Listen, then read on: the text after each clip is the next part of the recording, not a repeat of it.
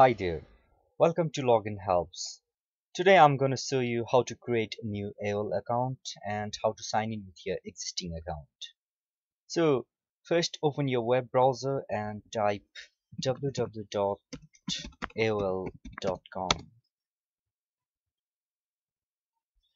If you already have a AOL running account you can just click on sign in and sign up option here then the new page will appear with the login interface where you can put your username or your email account email address. Then you can type your password and simply you can sign in. Or you can sign in through these different social networking website Facebook Twitter Google Plus and Yahoo.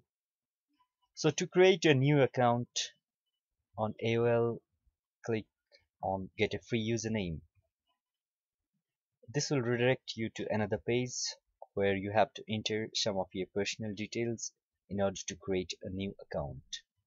So here you can put your first name, your last name.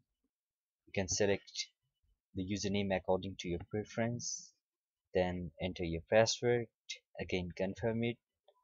Then your date of birth, gender, zip code, and you can select one security question. Now for the verification you'll have to go through the captcha verification where you have to enter correctly all the uh, numeric and alphabets. Finally you can click on the sign up to complete whole process. Thank you very much for watching